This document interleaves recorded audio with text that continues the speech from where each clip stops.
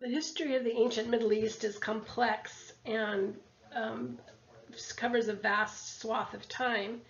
From about 10,000 years ago, uh, people in this area began the agricultural revolution where they started to domesticate plants and animals and live in villages um, tending their crops versus hunting and gathering like people did in the past. And this also began to develop a token system to record trade and accounts, which led to mathematics and to writing. So there's, of course, many innovations that came from this area. Um, the re for reasons really not well understood, the civilization of southern Mesopotamia uh, underwent a sudden growth and change, uh, centered around the cities of Ur and Uruk. And um, these areas is now, you know, it's what's in modern day Iraq. So it's called the Fertile Crescent because it's between the Tigris and Euphrates rivers, which creates a fertile zone uh, amongst a very rough and rugged uh, climate. And because of the life-giving water of those two rivers, uh, civilization was able to thrive. And then there were different civilizations that took center stage and dominated the region at different times, as you can see by this short listing. Um, so let's dive into this further.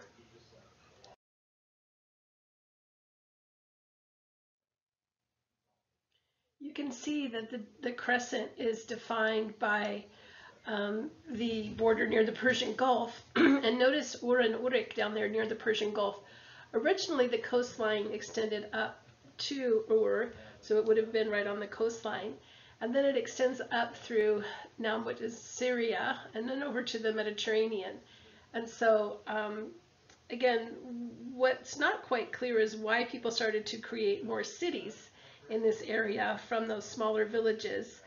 Uh, they don't know if it was driven by climate change, which made agriculture less productive, but nonetheless, people started to gather into larger cities and new innovations such as the plow and the potter's wheel and even the introduction of bronze um, can be seen uh, in this more intensive economic city life. So um, it started to increase, increase complexity in living, and we'll see increased complexity in um, the type of building too, because originally they just lived in very simple kind of reed woven houses and um, tended their sheep. And um, we'll start to see that they begin to build much larger structures in stone as well as mud brick. And um, we will take a look at those next.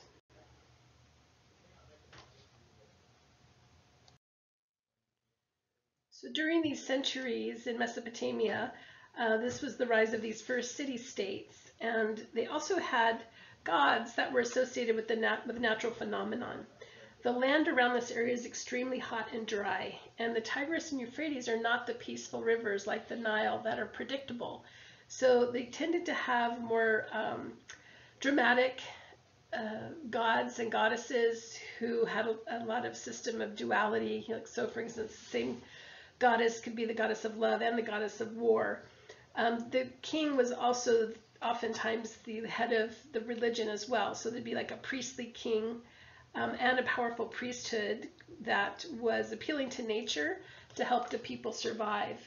Uh, so this includes areas such as the um, modern day Turkey, again extending over to what's now modern day Iran and uh, into modern day Iraq.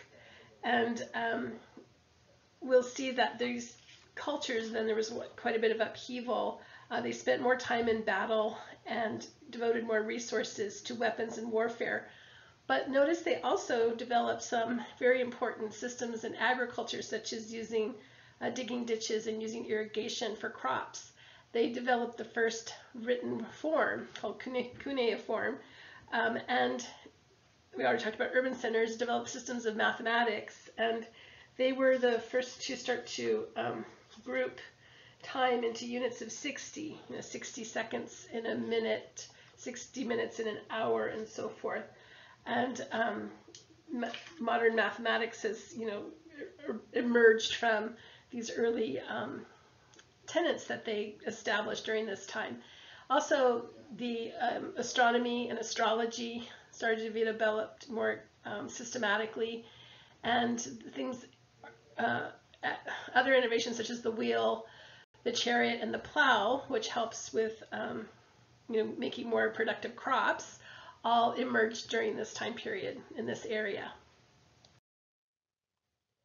Sumerians developed the first um, or the oldest full-fledged writing system that has been yet discovered, and it was based on units of 10. So originally it was a way to um, keep track of crops and record transactions for business. And these um, basically was a wet clay tablet and they would press a stylus into the clay to create these different um, pictorial references to keep track of, again, uh, crops, taxes, and so forth. Like I said, they were involved in using the number 60 as a concept of time because 60 was the number of one of their main goddesses. Um, so many things were based on units of 10 also, and um, everything was metaphorical and symbolic.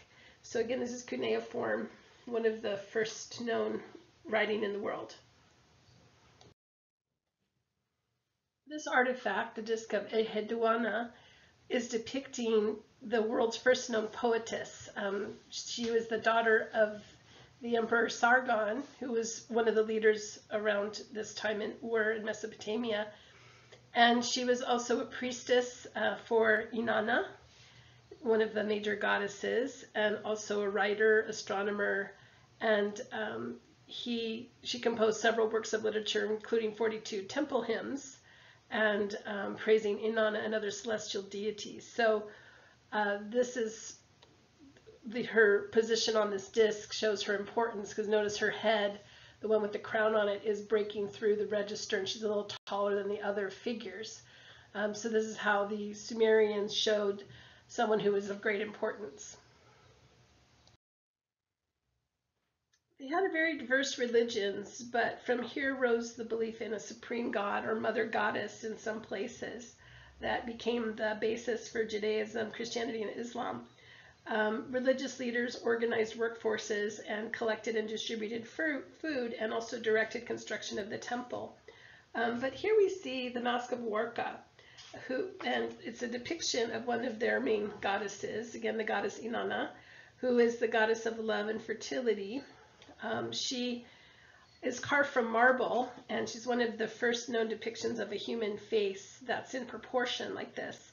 Uh, so again, this shows the concept of duality because she's not only the goddess of love and wisdom, but she's the god of war and desire. Um, she's often depicted standing on the back of two lions, and she's associated with the planet Venus.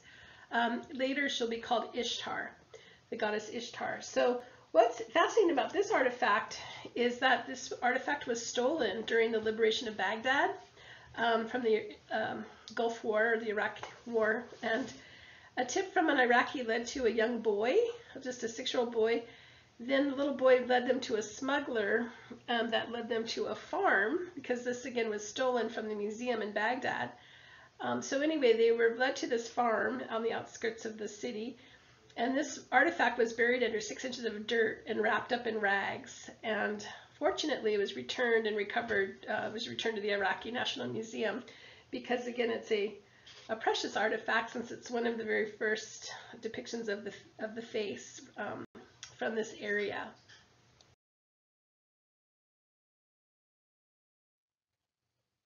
Here we see one of the famous building forms of Mesopotamia, which is called a ziggurat.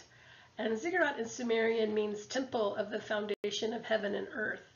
So the ziggurat is the mud brick platform that is elevating the temple above the rest of the city.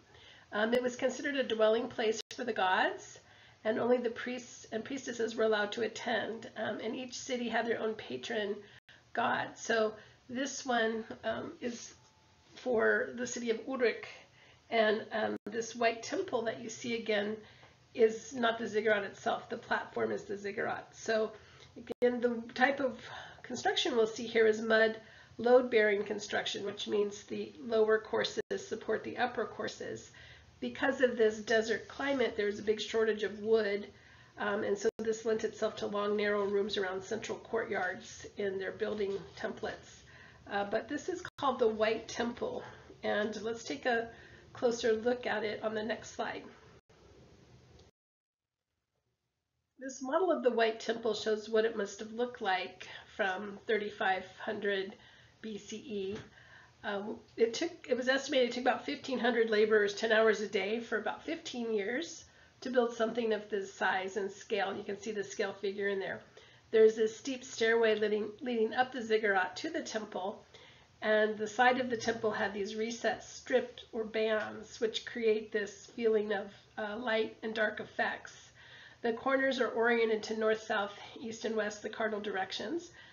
And also the top of the ziggurat itself is layered in brick and bitumen, which is uh, basically asphalt for the foundation. So if you can imagine this is a mud hill, right, mud brick hill, they had to put some kind of waterproof foundation down so it wouldn't erode away. It's called the White Temple because the walls are entirely whitewashed. Um, so usually they use a mixture of gypsum and it basically creates like a painting coat, uh, hence the name White Temple. So you can see that it's this long rectilinear hall uh, with rooms on either side. There would typically be a ritual fire on the altar, and then there's a podium for the priest to you know, do ceremony. Um, also, they found deposits of leopard and lion bones in the foundation. So it was thought these animals were ritually buried, um, or at least their bones were um, to give the architecture strength. And other types of ritual objects were found, you know, in the foundation as well. So it just also gives you a sense of um, their mindset in constructing a temple with those power lions or power animals as kind of the foundation piece. An ingenious decorating system that they developed was what's called cone mosaics. Uh, so this was used by forming small uh, clay cones. So if you kind of, let's say, picture an ice cream cone upside down, would be in that shape made out of clay. And then these little cones are pressed into the wet plaster. So usually they're about four inches tall and they have the flat round circular side on the base of it. So that flat round surface presents uh, an area to paint either red, white, or sometimes or in black. Black, red, and white were the common color palettes. And sometimes you can see they were uh, creating patterns such as the zigzags, the chevrons that we saw in ancient Egypt, what's called the lozenge patterns, which are those diamond shapes. And these were thought to imitate the kind of patterns they were using on their woven reeds and mats that they use for floor covering in um, homes and other buildings. This is the Warka vase from 3500 BCE, uh, discovered around Uruk also. It's three feet high and carved from alabaster, and it weighs 600 pounds. It was discovered in 1934, and actually there's a pair of vases of this. So this is, gives us a chance to talk about, again, Mesopotamian art and the use of registers. So the registers are the decorative bands, and notice the lowest register is showing uh, plants, so basically crops of grain and barley and reeds and so forth. The second register going up is livestock, so you can see the goats and sheep and cattle and things that they were um, domesticating. The third register up is showing people with offerings. And then the top register which is the largest, is the showing the goddess. Again, she has been depicted as the largest figure.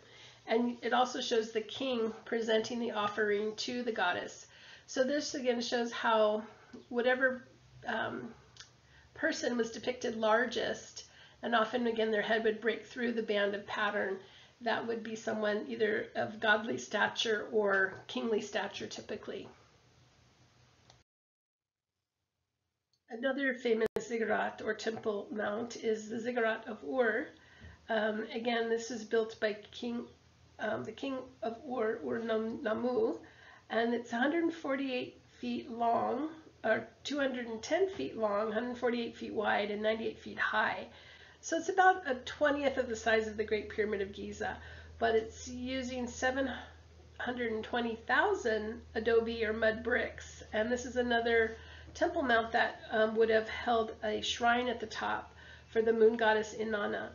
Um, and this, she was one of the patron deities of Ur. Um, so the other thing that to note is that this has three layers of solid mass mud brick originally it would have been painted also. Unfortunately, this was damaged during the 1991 Gulf War. Um, about 400 bullet holes ended up being lodged in the side of the ziggurat, and um, it was also kind of shaken by many explosions near it. So um, again, fortunately, it still stands pretty much intact today. We'll see these stepped pyramid shapes used in many cultures throughout the world, um, in pre-Columbian Mesoamerica and um, in Asia, among other places. But um, the form of the ziggurat itself is also going to be used later when we look at the Art Deco period and there's this um, interest in ancient Middle Eastern art and these types of forms are used again during that time in the 1920s. So this is what it might have originally looked like with the temple on top and then the terraced um, landscaped uh, outdoor areas. An important artifact from Ur is this one, the Royal Standard of Ur. Uh, that was found in a royal grave and it was thought to be from a king. Um, and this is, was, is basically a hollow wooden box that's about eight and a half inches wide, 19 and a half inches long. And you can see it has inlay of lapis lazuli, that's the dark blue color, along with um, shell inlay from shells along the Persian Gulf. And we also see some um, carnelian or the red stone from India. And uh, the lapis would have come from Afghanistan. So this is a very important artifact because it shows that they had long distance trade going on from centuries ago. And um, you can see we saw the lapis lazuli being used in ancient Egypt as well. So that would have been imported from Afghanistan, which is now, it wasn't called that then, but that's the geographic area where lapis was found at this time. So the Standard of Ur is also significant because it shows that concept of duality. On one side of the standard is, is a depiction of war, which you see here with the chariots and the soldiers. And on the other side, it's depicting a banquet and peace. So this is shaped like a Toblerone box, if you're familiar with Toblerone chocolate. So kind of a triangular shape. When we say a standard, it was thought to have maybe been originally put up on a pole. Um, so a standard, if you've ever heard that term standard bearer, is usually some kind of a flag or insignia that's carried aloft on a pole when an army is um, marching into war and this is kind of showing their, their colors. And so again, this was a ceremonial standard uh, buried with a king. If you'll recall from the last lecture, the Egyptians and how they used carved ivory uh, to depict animal legs, such as bull legs, on their furniture. And you can also see that in Mesopotamia, uh, people of power would have animal-shaped legs on their furniture. So you can see the king, again, notice his head is he's on the top row and his head is breaking through the register of pattern. And then he's also just sitting on a throne with animal-shaped legs. Uh, so again, also indicating uh, his importance and his uh, higher position.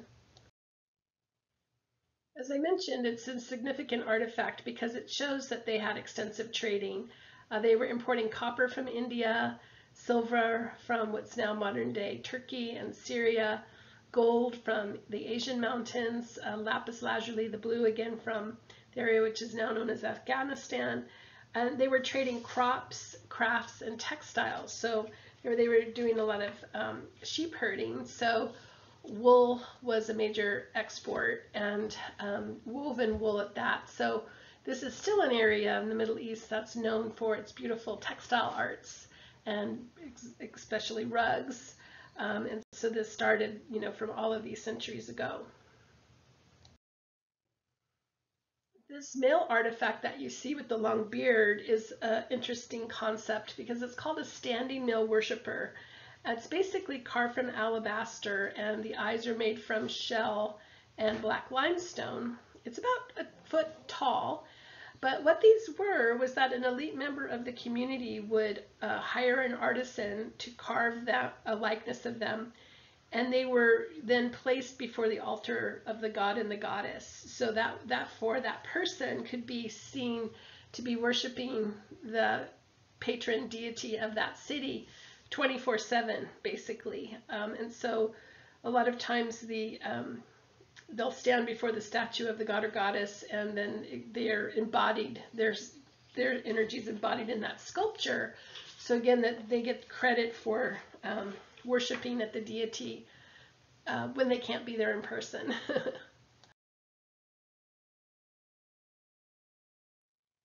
one thing that one thing you should know for the class is you don't have to memorize any dates. Um, we're just talking about general time periods that you should know, but uh, specific dates are not required. But what we do want to know is that um, the supremacy of the Sumerians was interrupted in about 2340 BC by the Akkadians and that dynasty again founded by King Sargon, and they their dynasty ruled a large uh, swath of territory stretching from the Persian Gulf over to the Mediterranean.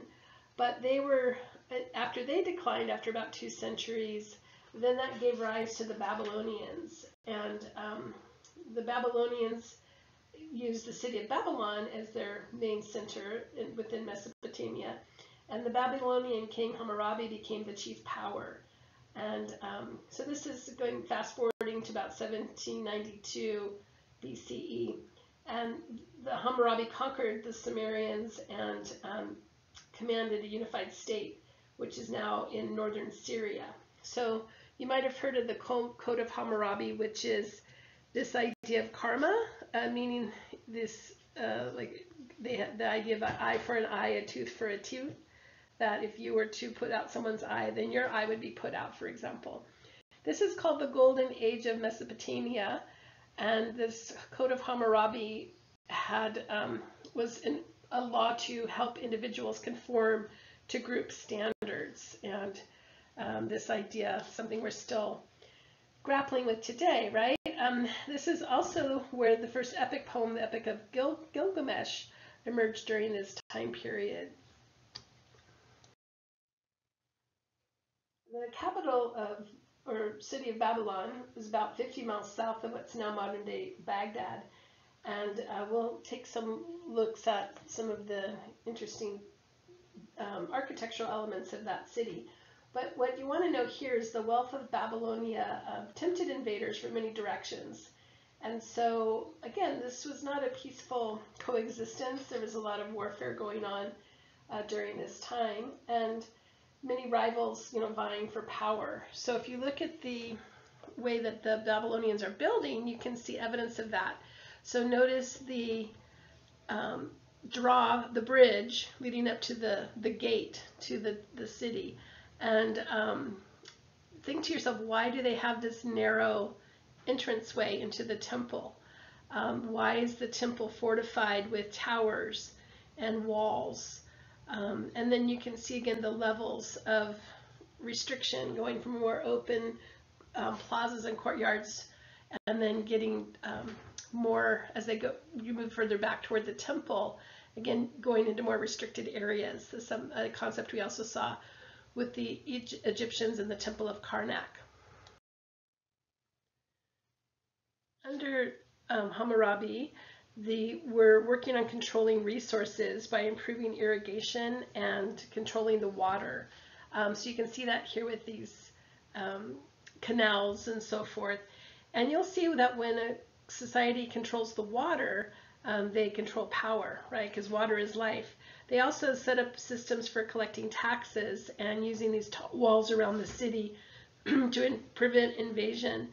Um, and then they did fall, and then they had what's called the Neo-Babylonian Empire under King Nebuchadnezzar II, which we'll talk about next. But um, this is a artistic depiction of what it might have looked like um, during the Babylonian heyday.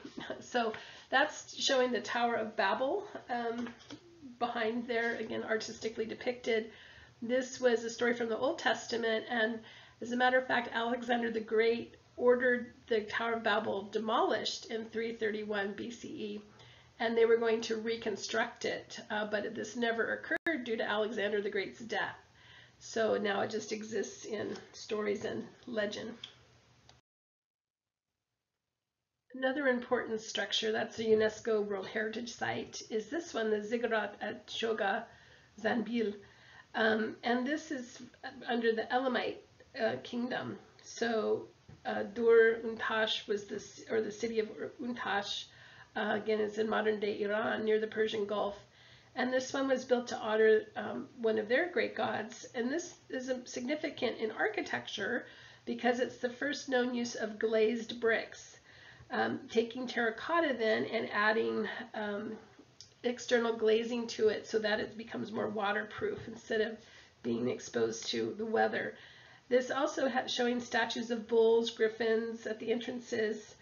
It's also threatened by oil ex exploration because they're doing seismic blasting in the Persian Gulf about 900 feet away from the structure and it's feared that it's going to destabilize the structure.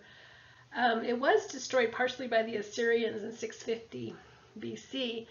Um, the other unique feature about this particular ziggurat is it has an internal staircase, uh, five stories tall, and this was hoped to um, suppress any attacks by the Assyrians. So again, another example of a defensive uh, style of architecture. The cultures of this time period in Mesopotamia and going over to Egypt, and then when we look in the Mediterranean cultures of the Minoans, for example, all used uh, composite deities um, and beings to depict certain um, spiritual attributes. And so we, here we see a winged goat, and this is from the famed um, Babylonian way and go, leading up to the Ishtar Gate. And this was built under the Neo-Babylonian Empire under the reign of Nebuchadnezzar II in about 575 BCE. It was considered one of the great wonders of the ancient world. And let's take a look at it from our next slide. So this is an artistic depiction of what the original processional way would have looked like. Um, and again, this is uh, called the Ishtar Gate. So this processional way is leading up to that big blue gateway in the back, which was a large cedar gate uh, adorned with bronze. This processional way went about a half a mile long. And um, you can see then they're controlling who can enter the city by funneling everybody into this narrow passageway. And then notice the crenellations up on the towers. So that's that's that sawtooth pattern at the top. And so think to yourself, what um, are those good for other than decoration? Uh, if you've ever seen movies with knights and castles and archers, uh, you might have a clue about how the archers can hide behind those um, vertical uprights and then shoot arrows through the the V slots um, and stay protected from return fire. So this again was an example of defensive architecture, but it's also quite lovely in the use of glazed brick. Uh, this was one of the largest projects using that glazed brick and the colors range from yellows, browns, and blues. Uh, these walls are about 50 feet tall and it's been reconstructed partially in the Pergamon Museum in Berlin. So let's take a look at that. So if you're lucky enough to have visited Berlin, some of you might have seen this. Um, again, this is the reconstruction of the Ishtar Gate. And um, notice the beautiful deep blue glazed bricks and depicting the Persian lions. Now, there was actually a, a subspecies of lion that lived in this area. Um, so we'll talk about that more in a minute. As you saw, the glazed bricks are depicting fantastical creatures such as dragons, um, but also um, animals that would live in the area such as lions and bulls. But notice stylized palm trees and those kinds of um, spirals that are depicting the fronds of the palm. That's going to be a significant detail that's going to lead to what's called an ionic uh, volute on a capital when we look at Greek design. So we're going to see this kind of stylized palm tree motif used not only in the Neo-Babylonian Empire, but in um, the Phoenicians building style and um, into classical Greece. So this uh, large complex was about 2,100 acres, and these streets ran at right angles to each other. The, again, the processional way led to the heart of the city, and um, these there were royal palaces in Babylon, including the Summer Palace and the Northern Palace, and the last um, the Southern Palace consisted of over 200 rooms. So that just gives you a bit of a, a feeling of how um, wealthy this civilization was. There was also the um, mythical Hanging Gardens of Babylon. So this, these gardens were written about, uh, but there's no remnant of them has ever been found. Um, so they thought it might pertain to the city itself because they had these different terraced levels and they planted um, different plants on different levels by pumping water up from the river again. So shows that they can control the water. It was said those were built for the queen Amytis because she was from Syria, which is a much more lush uh, environment with has forests and so forth. And she was living here in Babylon in the heart of the desert. And so it was said that um, Hammurabi built the Hanging Gardens of Babylon. Or sorry, it was Nebuchadnezzar. I think was meant to have built them for her uh, so that she would not be homesick.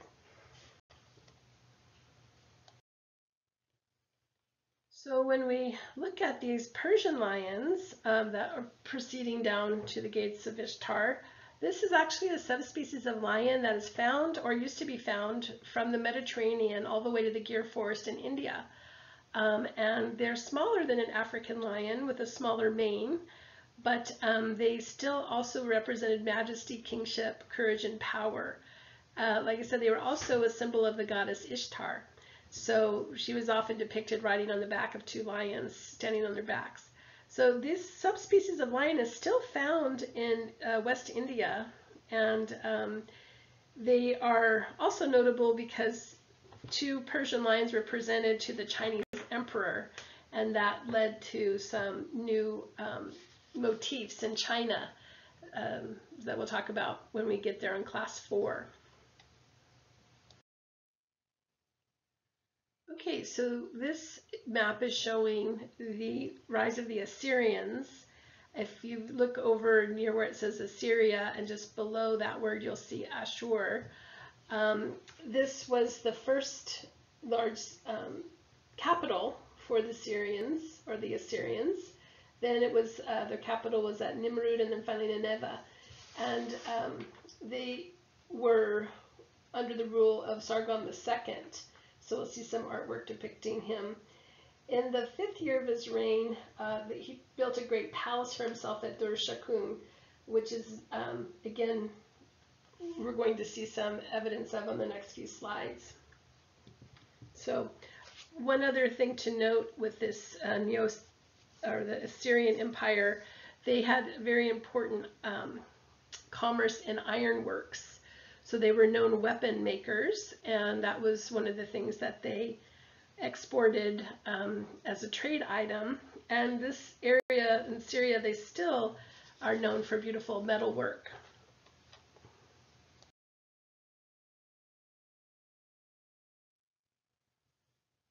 In the fifth year of his reign, Sargon II uh, built this fortress and palace called Dur Sharrukin. Uh, it was massive with seven gates that have these protector deities called Lamassu. Do you see those large uh, statues? And this was also, as you can see, brightly painted frescoes adorn the walls, um, like we saw in the Egyptian time period as well. And these, um, this is near modern-day Khorsabad, if you're wondering what area of the world this is. So this uh, straddled the city wall on a raised terrace, and um, these royal apartments and reception rooms were decorated, as you can see, very with or very ornamental wall paintings. And you can see the um, skylight that's in use also to illuminate the um, interior of the palace. Okay, here are the lamassu. Um, they are showing the body of a bull, the head of a person, and swiftness or the wings of a, an eagle. So it's meant to show the strength of a bull, the swiftness of a bird, and the intelligence of a human. And all these powers are harnessed to protect the royal Assyrian palaces from evil forces. So um, notice this really interesting uh, detail that they have five legs. That way, if you're looking at the statue from the front, you see four legs, and from the side, the, one of the front legs is hidden behind the other, so you still see four legs. They also have these very fanciful details, like notice the horns of the bull wrap around the human's head, and the human has um, bull-shaped ears with earrings. so, um, and then these long ornamental beards. So these were um, ones that, again, were iconic to the Assyrians. And they were taken, um, tried, you know, there's some of these artifacts are found now in Europe. Um, many artifacts were lost in 1853. There was a ship that was heading to the UK with these artifacts and it was scuttled by pirates. Um, another 200 crates of artifacts was lost in a river. So perhaps they just don't want to leave um, the Middle East. On this one, you can see what I was talking about, about the five legs.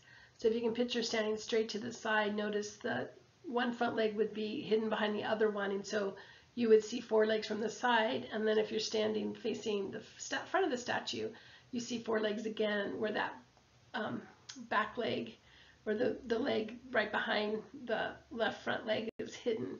So they wanted it to look balanced from either viewpoint. You can also see the lamassu being used here at the Nineveh Gate um, from the city of Nineveh, which was one of the large cities in the Assyrian Empire. And um, the Assyrians were known for um, many things. This, they spread out from the north of the Fertile Crescent to parts of modern-day Syria, Turkey, Iran, and Iraq. Um, this is a very rich and fertile land with many rivers and rolling plains for large herds of sheep uh, which could feed a large population. So therefore they were able to support a big um, group of professionals and craftsmen and people were able to specialize in certain crafts because of that abundant food supply. Um, so when we look at the Assyrians, like I said, they were adept metal workers and they applied this to things like creating the first door locks. Um, they used arches. They were some of the first to use paved roads. They had a postal system in place, the first to use iron. Like I said, they were wonderful metal workers.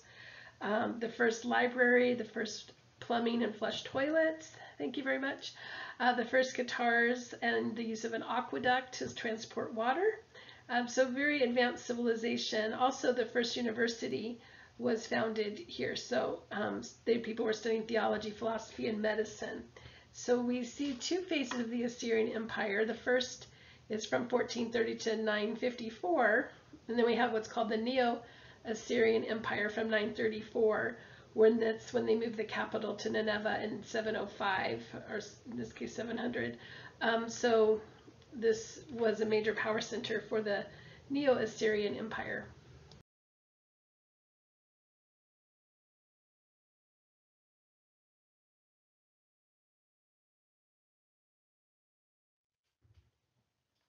Like the Egyptians, the ancient Near Eastern art uh, shows hybrid beings. So you can see these winged people here. Um, and similar to the Sphinx where we had a, a lion head, or lion with the head of a man, we have people here with wings of a bird. So um, in addition to the lamassu that had the bulls with the wings and the human heads, we'll see these kind of composite figures like um, female figures with the head of a lioness, uh, scorpions with men's heads and other composite creatures. And their exact meaning is not entirely known, but um, they were using these kinds of relief carvings, meaning um, carving detail into the rock to create these uh, art pieces. And different types of wall treatments were used, not only these kinds of carved reliefs, but like I said, those um, cone mosaics, were taking those bits of uh, terracotta clay in the shape of a cone and creating mosaics on the wall with those. They also painted walls with frescoes and um, using a base of white lime, they were painting in different kinds of uh, flat tones without the use of shading or perspective, but also depicting these kind of mythical beasts and very fancifully styled uh, trees and so forth, like we saw with those palm trees with um, the abstracted palm fronds.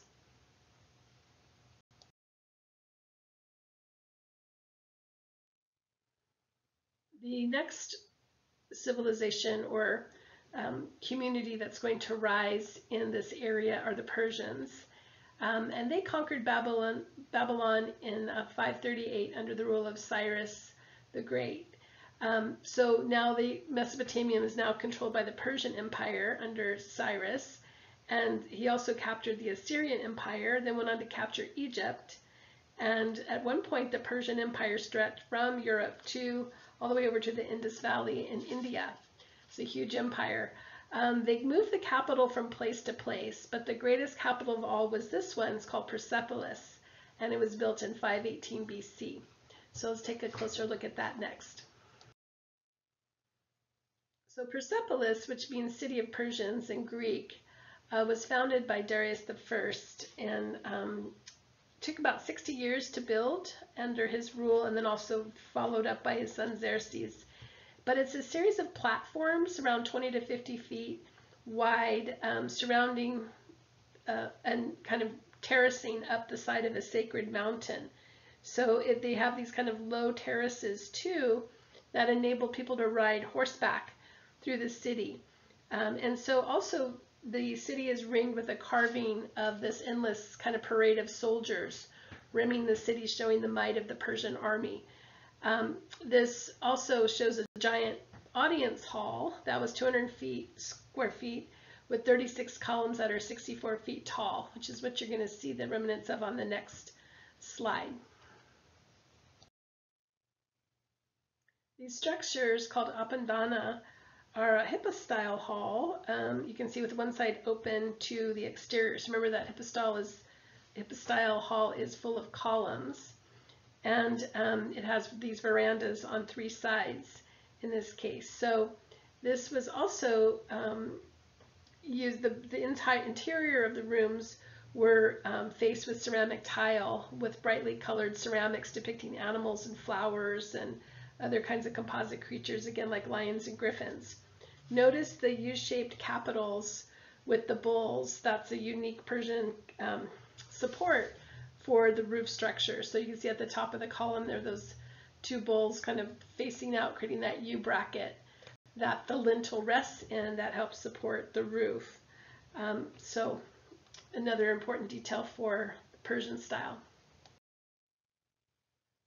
The Persian army had gone into Athens and sacked the Acropolis and destroyed some of the temples there. And so, in retaliation to that, when Alexander the Great and his Greek forces from Macedonia uh, then captured Persepolis, they um, Alexander had intended to save the city because it was the most beautiful city in the ancient world. But the, his um, troops had other ideas, and it said they they got drunk and they destroyed the city. Um, so Unfortunately, um, all we have left here are these ruins, but you can see the pylon or those portals with the cornice on the top and then the relief carving of the Persian um, army. One thing that Alexander the Great did that was quite ingenious was he would befriend, uh, when he would invade an area, he would defriend or befriend the leaders of the area and keep them in charge. So this is one way he was able to um, keep a power base under him while he expanded his empire. But this was a very, very wealthy city from treasures from all these rich trade routes. So it was located in this hub. Um, the Middle East is still a hub of trade coming, you know, from goods coming in from Asia and um, Africa and different places, and then moving into Europe and vice versa. So this citadel was full of gold, silver, and jewels, and um, these were also revenue that um, were paid in taxes to King Cyrus, who was the current king at the time. It was estimated there was 2,500 tons of gold in the city when it was sacked in um, 530 BCE. Or three, I'm sorry, it was sacked in 330. It was the capital from 550 to 330 BC. BCE. Ah. like the Egyptians, only a few people sat on chairs, as you see here, and this is a throne chair showing Darius with his son Xerxes behind him. Notice that they are using a lathe. Remember that tool that spun a um, branch of wood so that it could be turned and carved into these um, three-dimensional 360 carvings going around the perimeter of the leg. And you can see that on the stretchers as well. And so we have only have a clue from the um, carvings on this, the stone carvings about what some of the furniture looked like. But typical, like we uh, talked about with ancient Egypt, most people would sit on mats on the floor or they would have built-in daises again around the perimeter of the room that would then be, um, you know, padded and put pillows on it or uh, woven fiber things like rugs. And um, the majority of the people use that as a form of seating. And this type of chair that you see here would be reserved for the nobles or the king or the elite. Here's a mosaic said to be depicting what Alexander the Great looked like. Of course, this is pure speculation, but um, we will talk more about Alexander later. Why he's significant is because he invaded this large swath of territory. He spread um, ideas of Greek culture through a large area. So we'll see um, there's actually what's called Greco-Buddhism that arrived in India with the Greek um, artisans that came with Alexander's forces and brought a new style of depicting Buddha uh, into that area of India. So we'll, we'll be talking about that in a couple weeks.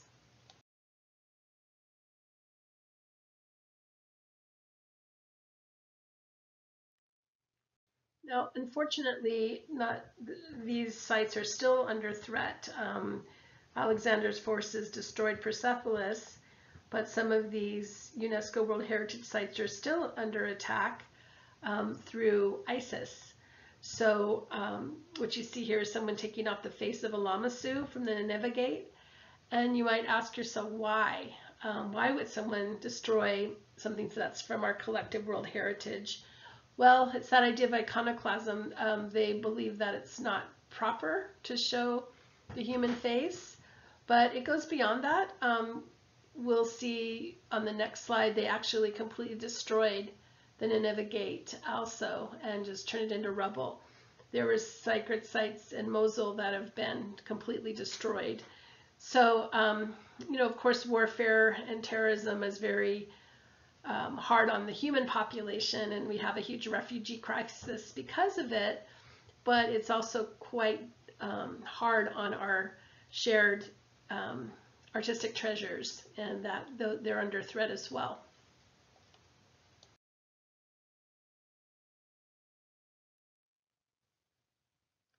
Palmyra was an ancient Roman city, uh, Roman outpost that became what they called the Venice of the desert because it was also on those rich trade routes from Asia into Europe and back and forth. Um, so there was a lot of money coming in from what we call the Silk Road trade routes and the ruins had covered three square miles in the middle of a desert situated near oasis. Um, but unfortunately, ISIS is dismantling the city piece by piece and selling off bits on the black market to support their cause.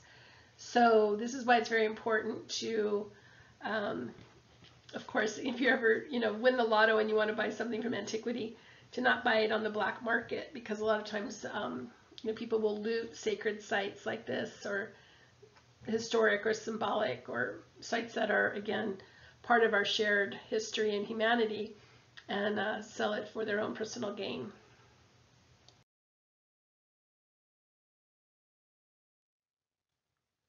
If you would like to know more about the endangered antiquities of the Middle East, uh, there's two articles here about that. Um, of course, we know there's a horrible civil war going on in Syria, and the city of Aleppo, who's an ancient historic city um, with cultural influences, because another important trade route source. Um, anyway, the people are working there to try to move some of the antiquities out of harm's way, but about 140 historic buildings have been damaged beyond repair. So um, again, just to point out that war takes a terrible toll on everything from people to countries to buildings and animals, wildlife, environment, etc. So, uh, yeah, not good for anything. The reason we know so much about uh, the furniture is because of these preserved carvings from the past. And again, it shows the use of the lathe to create these uh, turned legs and ornamental um, details. The Middle Eastern furniture for the wealthy tended to show a lot of inlay depicted. Um, the wood would typically um, again be reserved for the wealthy, where the middle class would probably have some kind of a woven reed seating situation or a cushion on the floor for the lower class. Um, the use of stools, though, were also prevalent. So the four-legged and folding stools used here also, maybe even earlier than Egypt. So the, what we know about the Middle Eastern furniture from these carvings, again, give us no clues to the construction. So we do know, see its use as a ceremonial chair. We do know that it's been carved, uh, but we don't know if they used a dovetail joint or mortise and tenon joint. Uh, we can only surmise that from these pictures. We do know that they use stylized animal and plant forms um, and human forms as well in their decorative furniture. So you can see these kind of stylized pine cone feet for the chair um, on the left. We have what's called an anthemion border for the middle chair, which is kind of a stylized honeysuckle. And then we have those ram's heads on the stool, or that throne on the right. So um, once again, these would be carved from wood and um, inlaid with different materials.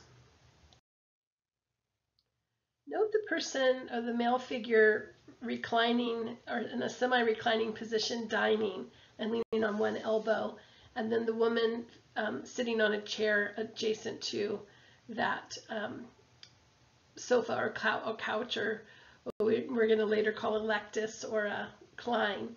So it's thought that that custom of lounging with your legs out and dining kind of in a semi-reclining um, mode came from the Middle East during this time. And it was adopted by the Greeks and then later the Romans in their furniture that we'll see coming up.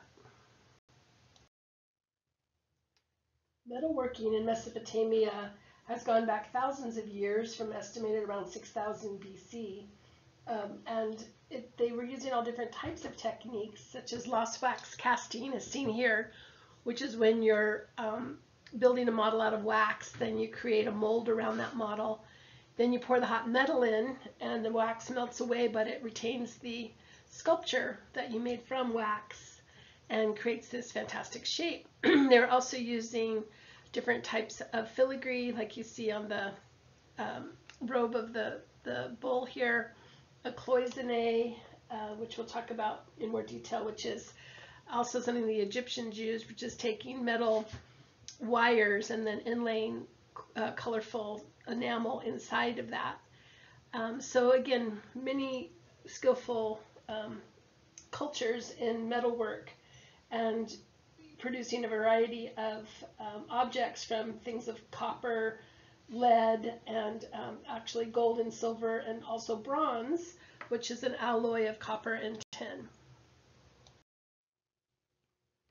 Here's a beautiful example of Mesopotamian metalwork um, in what's called repoussé, which is taking a piece of, uh, in this case, gold, and then you're pounding on it from the back to create these lifted patterns in the metal. And you can see again those fantastical creatures, um, such as griffins and so forth, depicted on this breastplate, which would have been, again, something that would hung on someone's chest um, as an ornamental piece.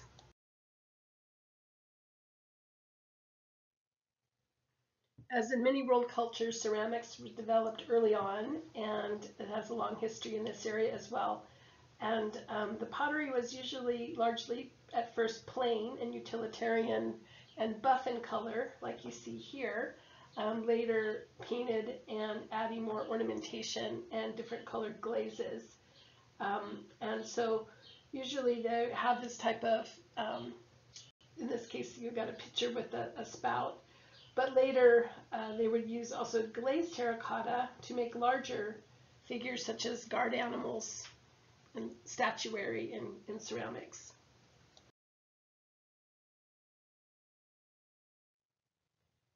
It was said that glass was first developed in Mesopotamia about 5,000 years ago, and the story goes because glass is made of silica, which is in sand, um, and that's mixed with alkaline ash from burnt, burnt coastal plants uh, to create this molten glass. And so the story goes that people along the shoreline of the Persian Gulf and Mediterranean were burning coastal plants in the sand for a bonfire, and then they saw that the silica in the sand became molten, and they started to be able to use that to create um, these incredible image or you know items like this particular bowl from per the Persian Empire. Um, as a matter of fact, they started blowing glass, which is taking again that hot molten glass and blowing through a tube to create a vessel like this bowl uh, as early as the first century BCE. And so again, glass making is traced back to about 3500 BC in Mesopotamia, and it was thought to have really started around coastal North Syria. And they were making glass beads, and as we know, we saw faience in Egypt, which is um, using alkali of seashore plants along with sodium carbonate um, to create those kinds of um, what they call paste glass also.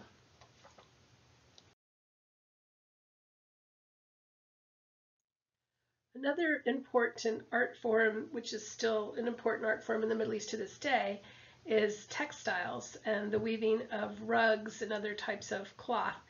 Um, so there was exports of wool before 2000 BC, because remember this was an area that they, had large um, herds of sheep and goats, and it stayed an important decorative art in the area. But um, because of all of these different crafts traveling back and forth um, along different trade routes that um, later will be called the Silk Routes or the Silk Roads.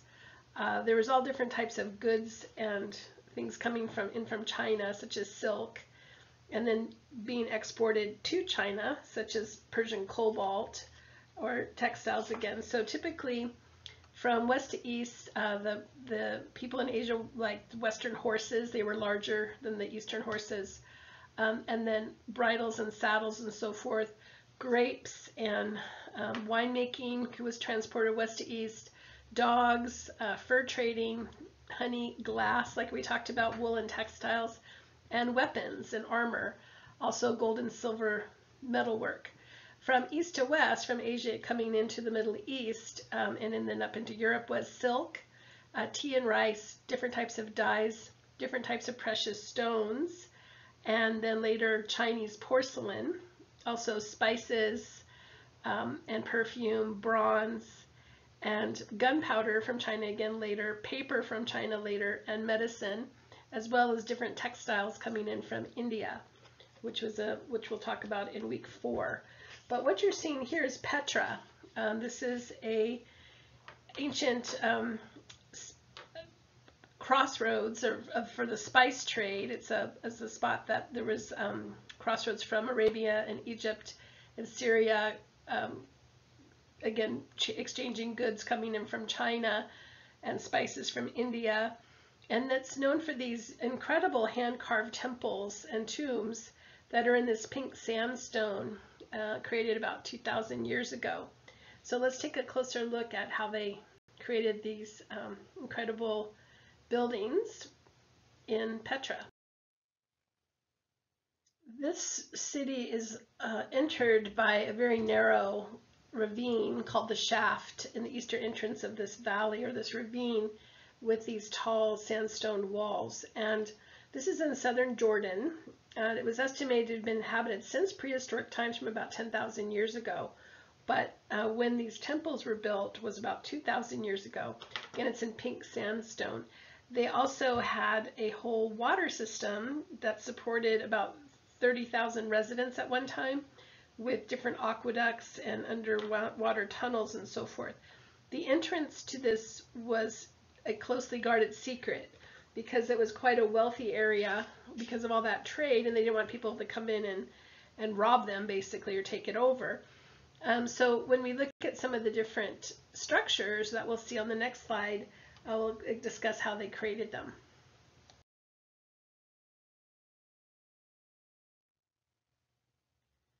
So this one, El Deir, which is the monastery, um, is a mixture of Hellenistic Greek style and Mesopotamian styles. It was a tomb um, for King Obodas I, and it was also used as a church during Byzantine rule. It's been repurposed actually many times, um, and this has this whole mix of influences. So what was interesting about this is they realized um, they were able to carve these from the top down. So in order to start carving these um, tombs and structures, they would walk up the hill or climb up this hill and then start to carve at the top and then use the rubble falling down as a scaffolding so that they could work their way across the front and continue to carve until they reach ground level again. So this is why sometimes the proportions are a little off. Notice how the second floor looks larger than the first floor. Maybe they just didn't estimate to get, you know, before they hit back to bedrock. So uh, again, these are these incredible carvings in ancient Petra. We can't leave our discussion of ancient Middle East without talking about the Phoenicians who lived on the area of coastal Syria and Lebanon in North Israel. So you can see on the map here um, that those areas of Sidon and Tyre. Um, and so they were very skilled seafarers and shipbuilders. here you see an example of one of their ships. And they were wonderful traders. So as you can see with those red lines, they established trade routes all through the Mediterranean basin and even out through the Straits of Gibraltar as far north um, around the Iberian Peninsula and then even down into North Africa. So they were going all the way up to France um, and again all the way around the Iberian Peninsula as far north as Britain, it's estimated.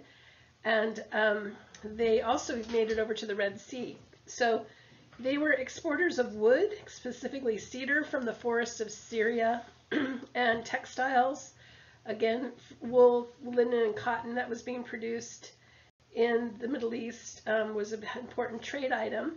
But what they're mainly known for is this important dye that they developed. This dye is called Tyrian purple, and it's made from this murex shell, and it actually takes um, several thousand of these shells to produce a small amount of dye. So the um, the shell there is what's you you know is a, a mollusk that you're seeing there on the left. And um, they would take again about 10,000 of these to produce a, a, bolt of cloth. But they would produce um, colors in the range of, you know, more of a deep purple. And you can see it woven with gold. That's the cloak of King Charlemagne from Tyrian purple and gold thread. But they would also um, dye it pink. And, um, you know, the this was such a um, big trade commodity, but it was really expensive. So only people that were very wealthy could afford Tyrian purple. So purple became associated with as a sign of wealth. Um, and they also had another dye from a murex snail that was created, created this beautiful blue. It's the same blue that you see in the flag of Israel, that blue and white. And that comes from another murex snail that's found along the shoreline there um, and produces that blue color in dye. The Phoenicians also acted as kind of a middleman in the trade routes. Um, so they were working with um, importing copper from Cyprus, silver and iron from Spain, gold from Ethiopia, tin from Britain, ivory from India, amber from the Baltic states, um, barley and honey and, and um, oak wood from Palestine, linen and grain from Egypt, and livestock and even things like coral, perfume, and spices. So these were some of the items that the Phoenicians themselves made were these um, glass vessels that you see here on the left and these little interesting glass beads with bearded faces. Uh, that was another Phoenician trade item. That That's one way they've been able to track how far their products went is where they've found these beads. Um, and then you can also see that uh, copper vessel, that's another one that would have been traded during this time period. So we're talking about from 3200 BCE to 2500 BCE was kind of their peak um, of that civilization. Not only were the Phoenicians ingenious shipbuilders, they also were notable for doing wonderful architecture. So they used a combination of limestone and mud brick and they created these large temples uh, with colonnades. Remember those groupings of columns? They also were creating dams, artificial harbors, walled cities with towers and gates, um, abundant use of cedar wood from the area, multi-story houses with two columns at the entrance like you see here on this temple design. And they, it's believed their writing influenced uh, the development of Greek writing. They were also quite influenced by Egyptian architecture. So you can see some of the, like the cornice at the top and the monumental uh, look of the Phoenician architecture. But notice the um, columns on the next page. It's that stylized palm frond again, like we saw at the Ishtar Gate in the processional way of Babylon, uh, is going to then become what's called a ionic column eventually when we study Greek architecture coming up. So the Phoenicians were, uh, because of their trade routes, also spreading different ideas and motifs throughout the Mediterranean basin. And so we see again these kind of stylized palm fronds um, being used on this capital or this fragment from a Phoenician column. And then we'll see those kinds of motifs used in our um, study of the ancient cultures around the Mediterranean basin near Greece next. Okay, now we're going to move over to uh, the Aegean area of the Mediterranean and take a look at some of the civilizations living there. The early civilization on the Cyclades Islands, um, then the Minoan civilization based around um, Crete, which is now modern day Crete, and the Palace of Knossos, and then the Mycenaean civilization that's on the what is now the Greek mainland, which is slightly later than the other two. So let's talk about those next. When you see the map of this area, those small islands again are the Cyclades. You can see where now um, Athens would be in Greece. And then notice the large 60 mile long island of Crete and Knossos. And this is one of the major centers of, for the Minoan culture. The Minoans was said to have migrated from the area of Turkey and Iran. They're a Bronze Age culture and they were said to be quite tall. They were about six feet tall, which is unusual for the time. Um, and they were, um, again, also known as big sea traders, like the Phoenicians. So uh, let's take a look at their civilization. There were four large um, palace sites on the island of Crete uh, that were occupied by the Minoans or built by the Minoans, the largest of which is Knossos. But um, we have Phaistos, Malia, and Zakros as well. And these were complex structures, about two to three stories high, that acted as administration sites, trade centers, uh, and they were also the center for both their religious and political power base. Uh, there's no fortification on these palaces, so they believe that they lived in peaceful coexistence with each other. Um, and, you know, they did have some weapons, but uh, they, again, the um, the building itself isn't fortified like we saw with the Middle Eastern buildings. So it's thought that they led a relatively peaceful existence. Um, and they were, again were fearless traders going throughout the Mediterranean, the Near East, Africa, and Egypt. If you look at that floor plan of the palace on the slide before and you see the somewhat maze-like space plan of it, um, notice that it's arranged around a central courtyard. And that was thought that the, maybe the palace itself gave rise to the legend of the labyrinth. Uh, you can see the labyrinth here, that maze-like structure also seen on the Minoan money or currency. Um, the legend is that King Minos made the Athenians um, send a tribute of seven young males and seven young females every nine years to be fed to the Minotaur, which is half man, half bull.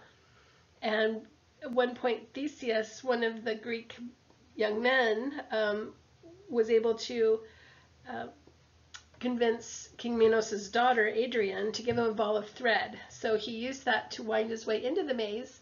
When he got to the heart of the maze, he slayed the labyrinth, or he slayed the Minotaur, and he was able to make his way back out of the labyrinth following that ball of string, or that that string trail that he left for himself. So again, the, this thought that perhaps the palace itself gave rise to that, that story. This is an artist's rendition of what the palace might have looked like, but the city of Knossos itself was thought to have had a population of about 100,000 um, at this point, at their apex of their culture. And um, the palace was enormous. It's about 320 feet from north to south, about 500 feet east to west, all built around that rectangular center courtyard. And um, it has some other amazing elements, such as a light well, which we'll see in a few slides, So it's also, um, like I said, wasn't built for defense. You can see it's just kind of cascading in terraces down the side of the hill. Uh, many rooms were left open uh, to frame views of the, the landscape and, um, you know, to create that circulation pattern. Things were quite open and there was a lot of staircases leading from one area to, an, to another with long corridors also. So um, let's take a closer look at the palace. The way that we experience the ruins of Knossos today is due to a man named Sir Arthur Evans. Uh, he was British and he worked to restore the palace for 35 years. He also found written tablets, um, which he called Linear A and Linear B. Uh, most of the information was about recording goods. Remember, they were traders. But um, he did what he, he called his best guesses in restoring the palace. So he did things that were very you know, big no-no today in archaeology, such as using reinforcing concrete um, to help rebuild some of the pal palace structure. Uh, he did publish 20 or four, excuse me, published four volumes of work uh, about his discoveries here at Knossos, but um, he again just made his best guesses, which some criticize the accuracy of his choices. The Minoan name comes from the name King Minos, which could be an individual um, ruler or a dynastic title, like a pharaoh would be for Egyptians. But in any event, um, it's now called the Minoan civilization after that title. And um, it was the Bronze Age civilization that flourished from about 3000 BCE to 1100 BCE. But um, you can see the artistic representation of the palace of King Minos at, and the palace of Knossos, which um, is historically significant, is that it served as the major settlement uh, for the civilization. And this location was um, settled from about 6,000, 7,000 BC until it was abandoned in 1375 BC. And we'll talk about why that happened uh, coming up.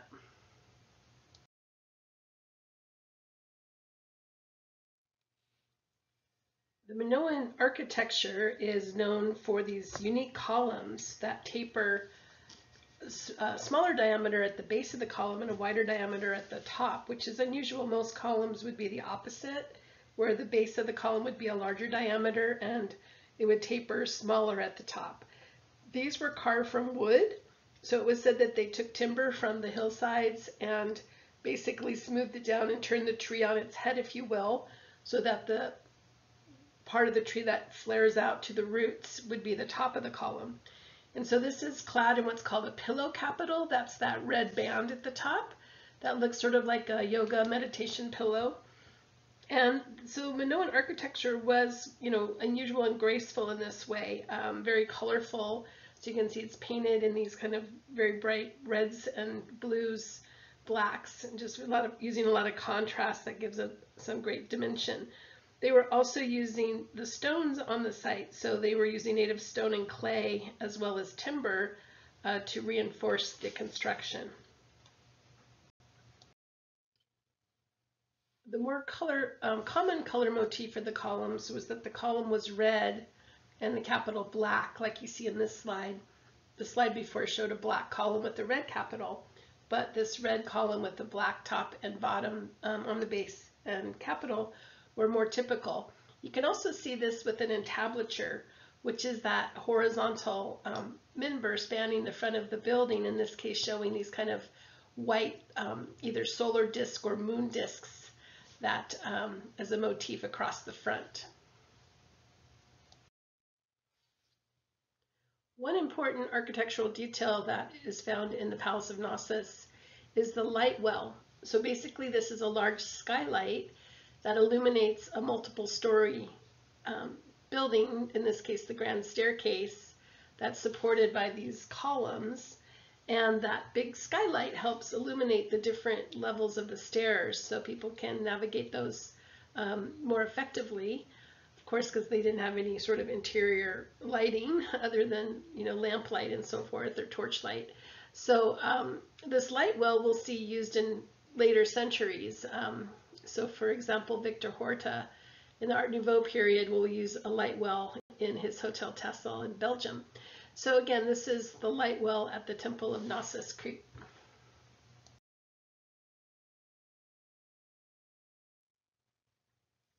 When you look at the uh, floor plan of the palace, it can look somewhat chaotic and haphazardly laid out, but in fact it is all organized around that central courtyard and rooms flow from one to another. So the palace has more flow than one might imagine. And they also have these long corridors and then those all terminate in those big um, light well staircases that we saw in the last slide. So um, they're also finely decorated with fresco that's done in true fresco fashion, which is uh, fresco being the Italian word for fresh. It's when pigment is applied to freshly laid lime plaster while the plaster is still wet.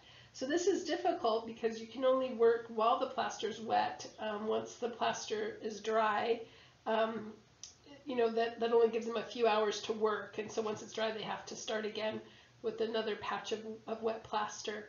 So once the plaster um, dries, it absorbs the pigment and it creates this beautiful, colorful effect that you see here.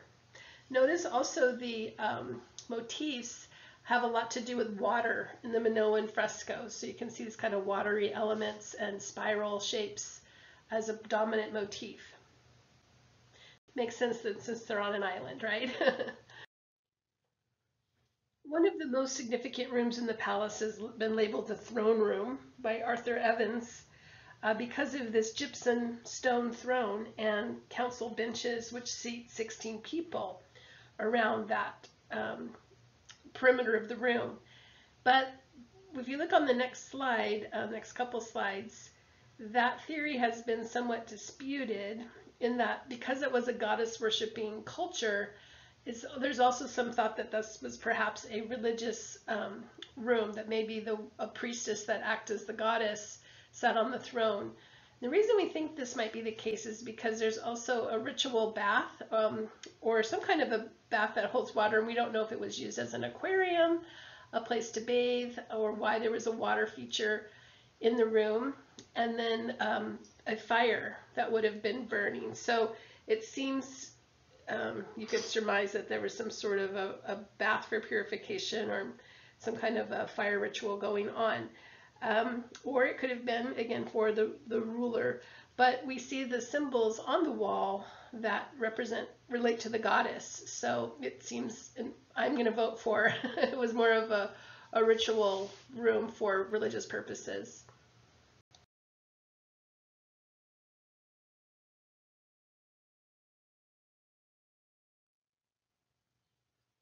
So in this slide, you can see that they're using trabeated construction or posted lintel construction with those vertical columns supporting those horizontal members to support the floor above it.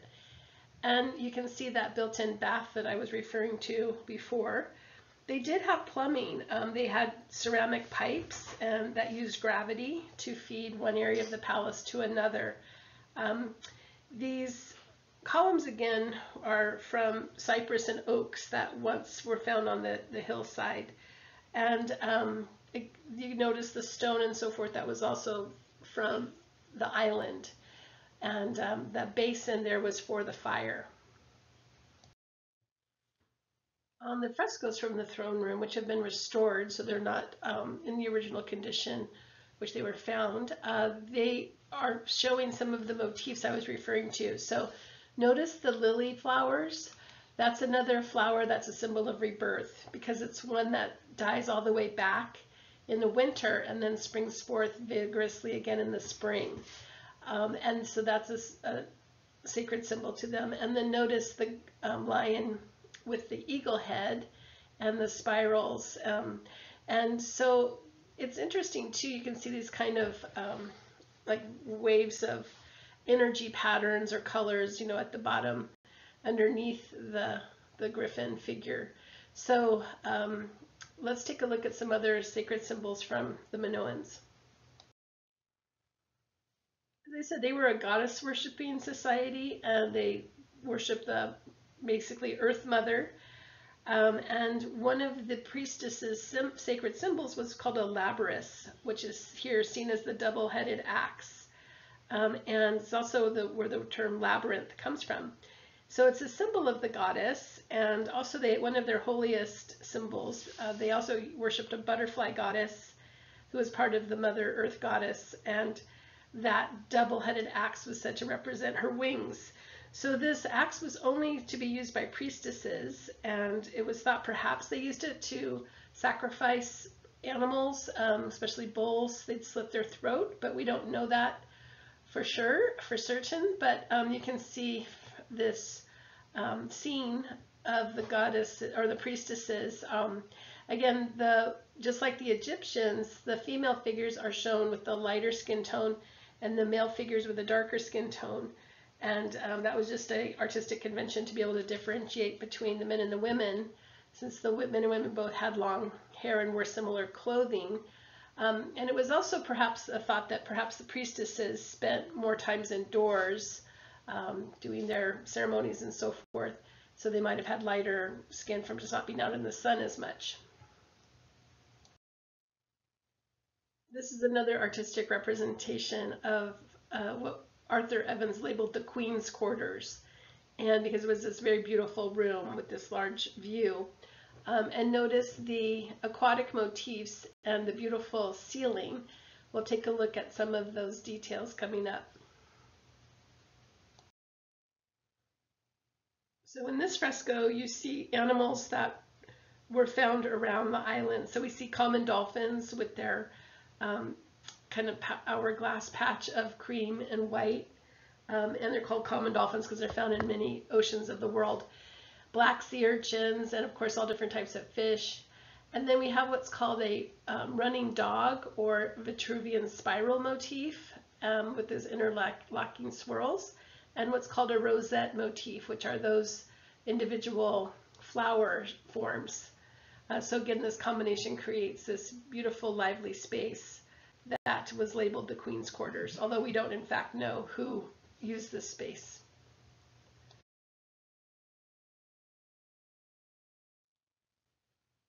So I've included some of these kind of illustrations in the PowerPoint. Sometimes it's easier to pick out the details when it's just illustrated graphically like this. But you can see the rosette border there, which is again usually flowers based on radial symmetry, meaning have the center point and then the petals rain out like um, the axles on a wheel. And then fretwork, which is that kind of interlocking labyrinth type of a design. Um, we'll talk about the meaning of that in, the next class.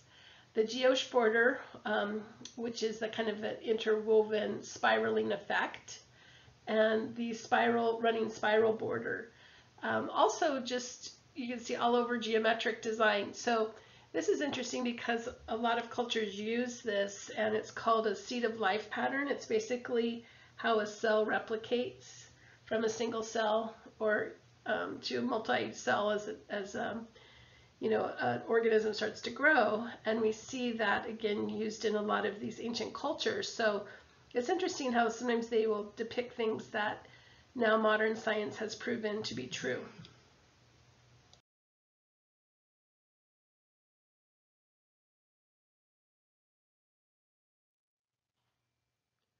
So this is the incredible ceiling detail of the Queen's quarters with the running spiral motif. Again, that's called a Vitruvian scroll or running dog motif, um, but it's these kind of swirling spirals.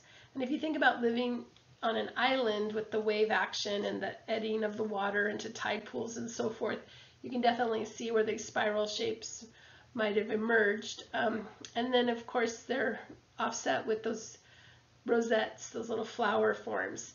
So this is something I'd like to encourage you guys to do as designers for the 21st century is to think more about ceiling surfaces. It's a large blank canvas basically, and it's usually very underdeveloped in today's design. This is another restored fresco, and so we don't know how accurate some of these are, but we do know, uh, based on other artifacts that were found, that the Minoan women uh, had very tight belt that they typically wore with a short um, kind of like a shrug or jacket with bare breasts, and then they had, uh, oftentimes their hair was adorned with shells and pearls and things from the ocean, like you see here. So uh, again, just based on other statuary and things that were found on the site, uh, this is a, uh, another best guess, I think.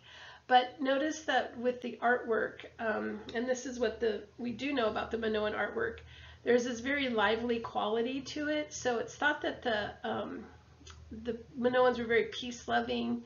They were sea traders, like I said. They didn't. Their settlements weren't fortified for war, and their um, artwork just depicts this very um, vibrant, very playful kind of society. This fresco, The Prince of the Lilies, is showing a royal figure, they think like a priestly king leading a processional toward that central courtyard. So this was painted in the corridor leading to the courtyard. Called Prince of the Lilies because you can see those stylized lily forms again. And remember I said that that represented rebirth. And then we see the butterfly goddess there flying along uh, next to the prince as well. So um, these types of uh, frescoes seem to have a religious connotation, uh, showing some of the religious rituals that the society uh, practiced, practiced during this time.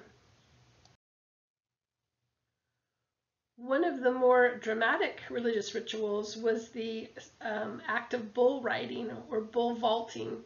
And so um, there's many depictions of this type of activity where it shows both young men and women who are very athletic running towards a charging bull, grabbing its horns, vaulting over the back with a, some sort of a somersault, and um, landing on the other side.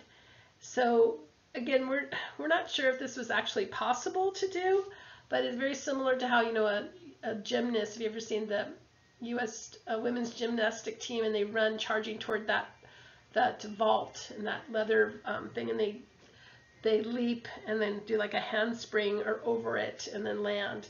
So if you can imagine that with a charging bull. So some theories say, you know, this just is impossible. You couldn't do this. Others have said, no, you could if you leapt straight over the horns without touching the bull, which you can see on this one. It shows, looks like the youth is grabbing onto the horns to uh, vault over it. In a, whatever way, if it was just more metaphorical, it was in honor of the mother goddess, they believe. So again, that was the earth goddess who was, some of her sacred symbols were the bull, the snake, the dove, and the butterfly. And she was a guardian of everything from, you know, animals of the earth, sea, and sky. So um, some people believe it just was the artist's failure to show proper perspective that it looks like they're doing this kind of activity. But there's also um, sculpture that shows the leapers going over the bull's horns. So again, some, somewhat of a mystery, but it was thought to be some sort of a ritual or religious rite.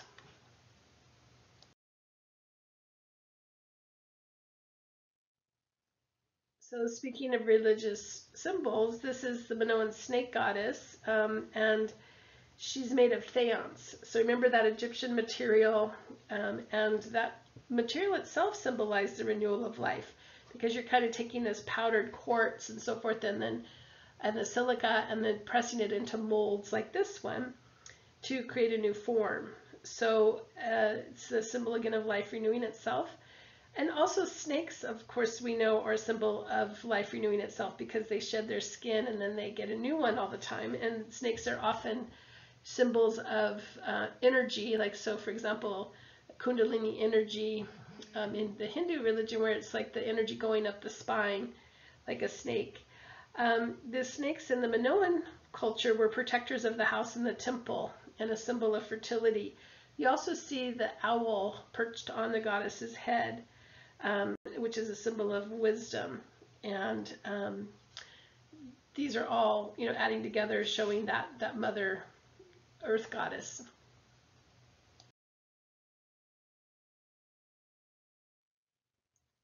Another notable thing about Minoan architecture was their use of the natural landscape, like digging into caves and hills to become part of the building. And we see that here with these storeroom areas of the palace And these are also holding these large five foot tall clay storage vases. And this was, like I said, a administrative site. So this is where people would pay taxes and things like dried fish, olive oil, grains, and so forth um, that were given as tribute to the palace um, and as their fair share of tax. And uh, they found many, many of these very large storage jars. So the Minoans did use ceramic arts um, and later used a potter's wheel, but some of these were hand formed. The colors are usually often buff, gray, or red in the ceramics, but um, sometimes decorated with spirals and motifs, and especially marine motifs were very popular.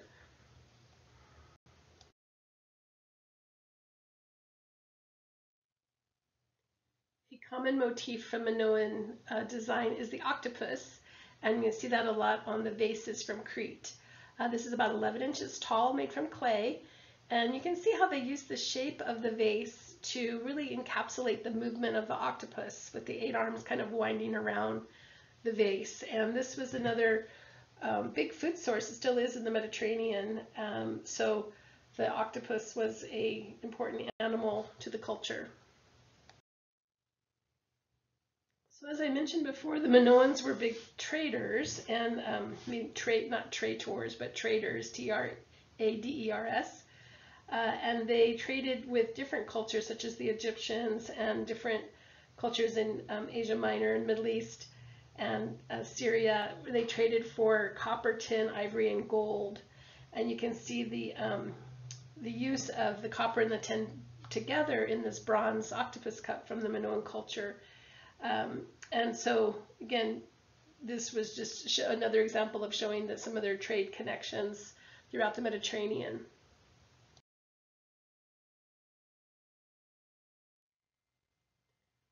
On this vase, and also remember on the Prince of the Lilies fresco, um, it's depicted what looks like peacock feathers. So peacocks aren't naturally found in the Mediterranean. So this is another example of proof that they traded with outside areas, in this case perhaps India or Africa where um, a certain form of peacock would be found.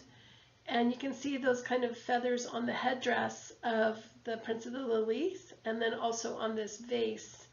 And um, peacocks tend to be another motif that we'll see repeated um, in many different times and places in many different cultures. And you see that here with the Minoans. And another important symbol to the Minoans were bees. Bees were believed to be a sacred insect uh, connecting the natural world to the underworld. And um, the, this particular pendant was found in a tomb near the third largest palace, which is the Palace of Malia on Crete. Um, beekeeping was used in Crete to create um, fermented honey, which is mead. And um, they were good beekeepers, but this particular pendant is made from gold with granulation, meaning they're using tiny little beads that are soldered on to create this textural effect on the, the tail of the bee and on the flower and so forth. Um, bees bee, stayed an important symbol, um, and bees, beekeepers or bee goddesses were named Melissa. So if your name is Melissa, you have a connection to um, the beekeepers of the ancient world. Uh, the um, Egyptians were thought to be the first people to really cultivate bees and, and use them um, in beekeeping because they used honey for not only food sources but medicinal purposes to treat wounds and so forth.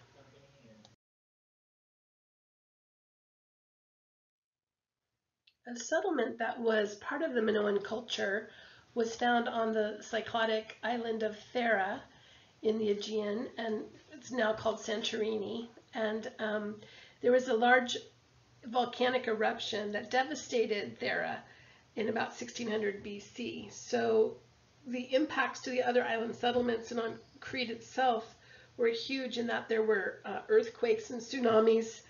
and it's this volcanic event was said to be one of the largest volcanic events in recorded history so it was quite powerful and explosive. There was very few human remains found on the island, though, so it was thought that there was a series of lesser earthquakes and eruptions prior to the major one, which gave, excuse me, though, which gave the population a chance to pack up and flee the island.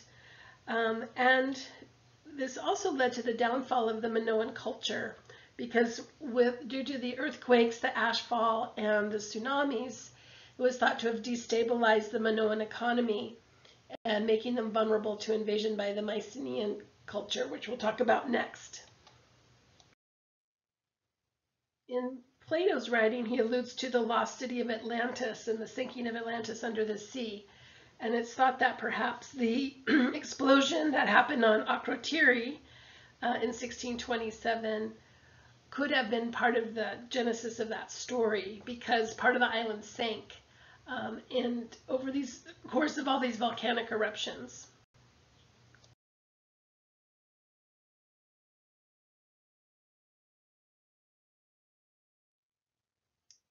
This site was not discovered until 1967 when it started to be excavated and it was um, the frescoes on the walls are very well preserved because of the ash and the, um, if you've ever seen any artifacts from Pompeii, uh, that's another reason why Pompeii was so well preserved is the fact that it was covered in ash. And um, so let's take a look at some of these frescoes that give us a clue about society here on Thera.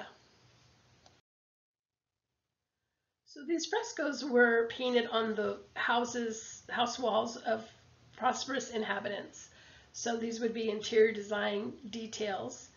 And uh, it gives us a clue again about their culture. So you can see they were also a very seagoing culture since they lived on an island. And we see the same kind of flotilla of boats um, that we've also saw in the Minoan, well, this is part of the Minoan culture, but what we saw in, in Crete. So you can see the um, different types of vessels uh, along with the common dolphin and the other aquatic motifs that let us know that these two cultures were very much um, one and the same connected. We see the use of the same kind of color palette in the frescoes, which are again mineral-based pigments, and um, these kinds of motifs like the lily again, uh, representing rebirth.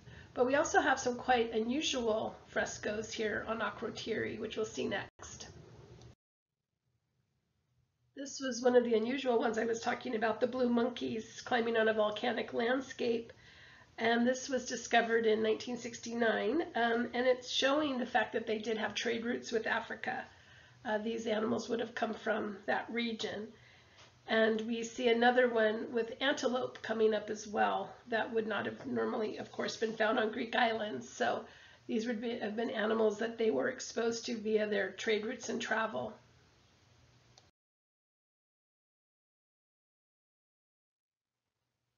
The spring fresco is significant because it's one of the first to be found without depicting human figures. So in other words, it's the first landscape painting that's um, been discovered from antiquity.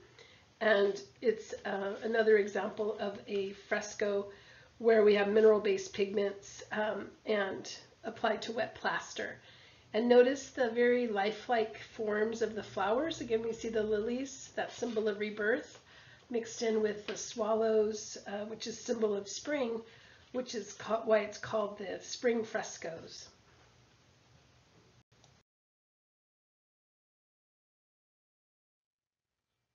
The Akrotiri frescoes also show some unusual scenes that we didn't see on Crete such as these boxing boys. And um, notice they have shaved heads with long braids. And we don't know exactly what, if this is just depicting an athletic competition, it's some sort of a ritual function. There were signs of mechanical devices used to create these frescoes, meaning they used a grid system to lay out the proportions of the figure, and they used spirals to calculate proportion as well. And um, you can see that here, although on the next fresco of the fisherman, to me the figure seems a bit out of proportion, like the legs look short compared to the height of the torso. The figures are shown like the Egyptian frescoes where the figure is in profile except for the shoulders and upper body looks like it's turned toward the viewer, but the face and the rest of the, the figure is in uh, profile view. So when we talk about the Cycladic culture, these are a culture that's lived out on these islands for centuries. There's early and middle and late period. So the early period began about 3000 BC. The middle period's 2500 BC and the late period about 2000 BC when it essentially converged with the Minoan civilization. But prior to that, um, it, again, it was this island uh, more earth-based culture, meaning that they lived lightly off the land by growing wild barley and um, herding sheep and goats and pigs. They fished for tuna from small boats. So they basically speared the tuna off the boat. and they um, did this type of artwork that was quite different too. It's a very distinctive Neolithic uh, type of culture. So when we saw the Minoans actually immigrated to the area from uh, what is now modern day Turkey, and it's thought that the Cycladic cultures were a mixture of people that had immigrated from Turkey and also the Greek mainland. Um, and they're also known for creating these amazing burial figurines. So there's been about um, 1,400 of these figurines found, and uh, we'll take a look at some of them. So the Cycladic Islands uh, were first inhabited by voyagers from Asia Minor about 3000 BC. And there's this wealth of natural resources such as gold, silver, copper, and obsidian, plus this white marble you see here. And they used obsidian as a major, which is volcanic um, stone, as a major trade source. So um, they also produced these very distinctive sculptures that were produced somewhere between 3000 to 2000, as you can see here, BCE, before the influence of the Minoan culture. But it was thought that these um, heads that are carved very simply were also painted with bright colors to create detail. So now the colors have worn off, but there's um, been many of these kinds of idols discovered, and these have many of them are on display, a few of them, not many, um, a sampling of them are on display at the Louvre Museum in Paris. And it was thought that they were very much appreciated by Picasso and the sculptor Henry Moore in the work that they did in their art in the early 20th century. The Cycladic figurines usually show a predominance of female figures sometimes pregnant, which suggests uh, some sort of fertility goddess. And they've been found um, both in on burial sites and outside of burial sites also. Um, and so one thing that um, is notable is they show this figurine standing, but in fact, these were made to be lying down, usually across a tomb. So this was mounted to a, um, a upright you know, figure made, into an upright figure later. And um, this is the type of art then that was usually showing some kind of a single length female with arms folded across the front was the typical pose.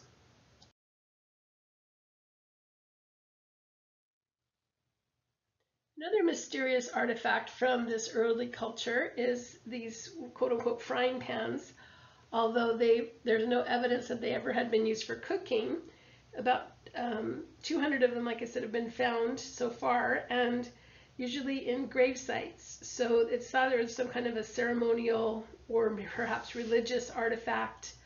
Um, some suggestions could be that there were some sort of a drum that they could have been used as some sort of a mirror. Um, they usually have these very decorative backs. Notice the spiraling motifs on the back.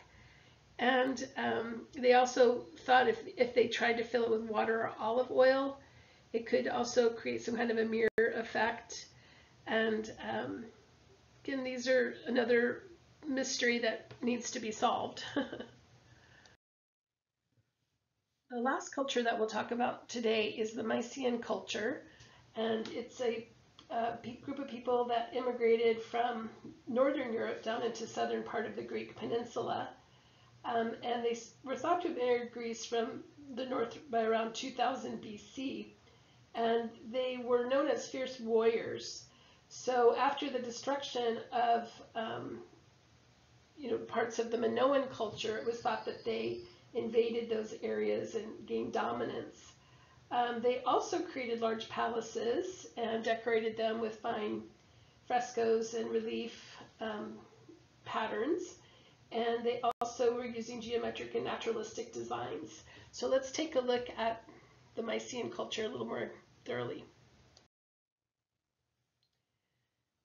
They're called the Mycenaean culture because the, they're based around the town Mycenae, which you can see there on the Greek peninsula. Um, and this is the site of a great palace of Agamemnon. So if you've ever read Homer, the Iliad, about the Trojan War, uh, that's the king that sent his troops over to uh, recapture Helen, the most beautiful woman in the world supposedly, and created the 10-year-long Trojan War. So the Mycenaeans were considered to be bold traders, fierce warriors, and great engineers. There's many, they built many bridges, fortified walls, and these uh, significant tombs. They had sort of a feudal system where the king was the head of the social structure, and then it went down to the warrior class, the priestly class, the warrior class, and then the the um, people that were working the land, similar to serfs in the Middle Ages. So again, the Mycenaeans invaded and conquered Crete. You can see the Knossos down there about 1400 BC. And um, their, the Minoan culture had flourished for about 1600 years, but it started to wane after this, um, during this time period. So one of the significant uh, designs from the Mycenaean, Mycenaean culture is the Megaron and this is a great room. And it was thought to have been designed around the idea of a central courtyard. So during this time period, um, in many of the cultures we've studied, as you can see, remember of the Palace of Knossos, the building was created around an open courtyard. So what they did here was they made it an internal room with a large skylight, and there would be a, a fire that would be burning 24-7, uh, like a ritual fire that would vent out through that open skylight. And um, this was surrounded by four columns, and the throne would typically be on the right. So let's take another look at it. Unlike the Minoan culture that really celebrated the female and the goddesses, uh, the Mycenaean culture restricted the Megaron. It was thought for men only and it was difficult to get to this particular spot. It was uh, within the circulation pa pattern of the palace. It was in relative isolation, so it was reached only through a single door. So again, unlike the Minoans, which had very open flowing floor plan for the palace, uh, this reflects the mindset of the people being more uh, inspired by creating a sense of defense or protection for some of their special places like the Megaron.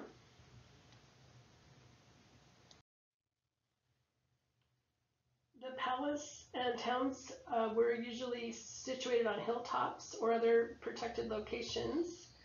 And um, again, this, uh, these palaces would have massive fortified walls surrounding the palace um, with a gate that controlled the forces coming in and out of the city, like we saw with the Babylonians. And they were, you know, of course, concerned with protection by creating structures like this. And they had a spacious interior hall called a megara, or called great room, or megarons as a singular version of that. Um, and this is again an interior courtyard. So usually it had some sort of a porch um, that was supported by the columns like you could see on the last slide, and then um, a vestibule that came into this center part of the room, which was filled with a circular hearth where they usually had religious rituals um, and again using that fire for the ritual. And the four columns are symmetrically placed around that hearth.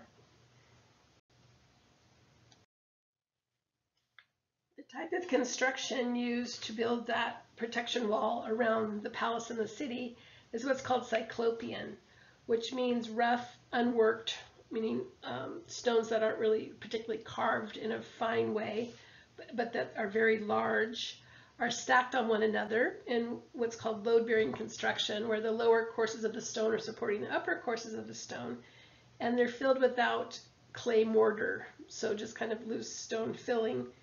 And this cyclopean term is um, related to the word cyclops.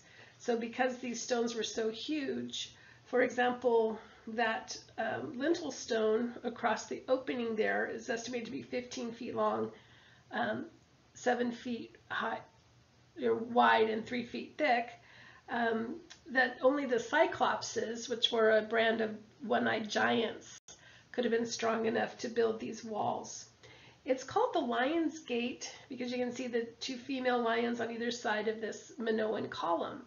So interestingly, uh, that column was a stand-in for the goddess, and um, the two lionesses were protecting, you know, the city and, and then protecting the goddess herself. So we saw the image of the goddess with the two lions going back to the ancient Near East. Remember with the, the symbols of Inanna or the moon goddess or Ishtar um, with her two lionesses in protection, protection mode.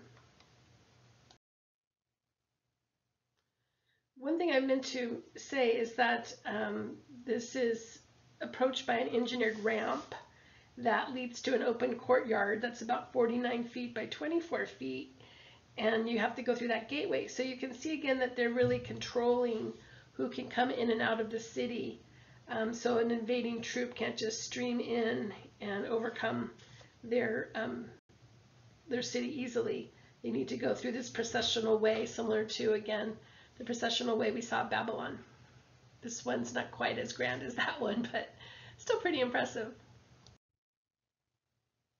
This uh, example of Cyclopean masonry, and again, those, those big stack stones, also show what's called corbelling. So notice that arch where the courses of stone kind of um, get staggered so that they end up meeting on a point above the lintel. It's estimated that lintel spanning across the door weighs about 120 tons, just to give you a sense of scale. Um, there were nine such tombs. These are called tholos, and they're burial tombs, and there were nine of these found around Mycenae. This, um, again, this one particular one is called the Treasury of Atreus, which uh, it's built in the side of a hill, and different remains had been found there. So it's thought that um, they were built first and then later they started to be used as burial chambers. And so they would just go in and lay the body down in the chamber because there's evidence of older remains kind of stacked over towards the side walls and then the, the newer remains in the middle.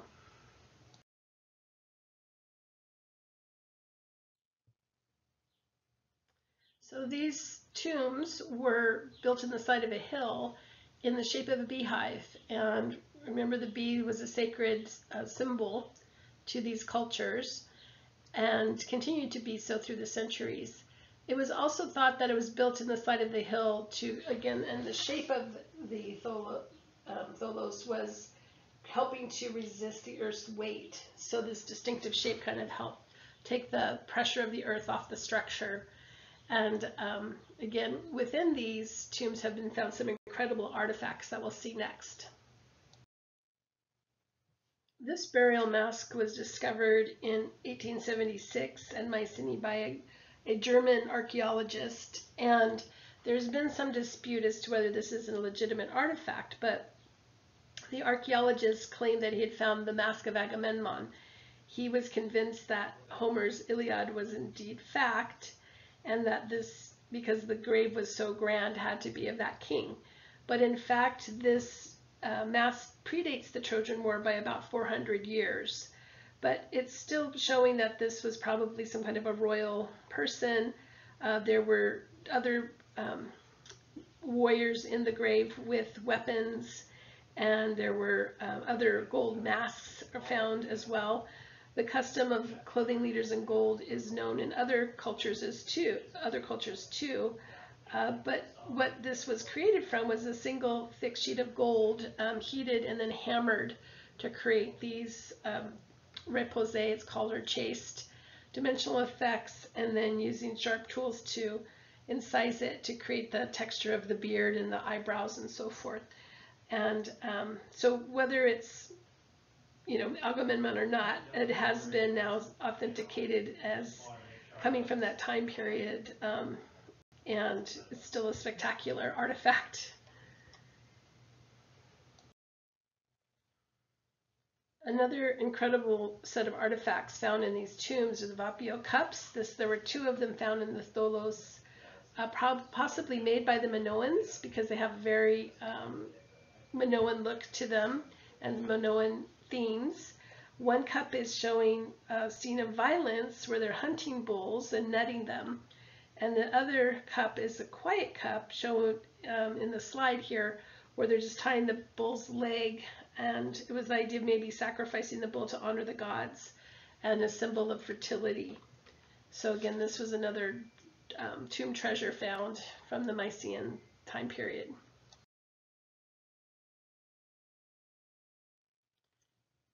It was a very short overview of the Mycenaean culture, but as we look at the ceramics, notice the use of the spiral, um, which was seen also with the Minoans, and this somewhat simple form of the cup and simple style of painting is now in our next period we'll be talking about. The Greek period uh, will be get much more complex. So we'll be talking about that next and next class as well.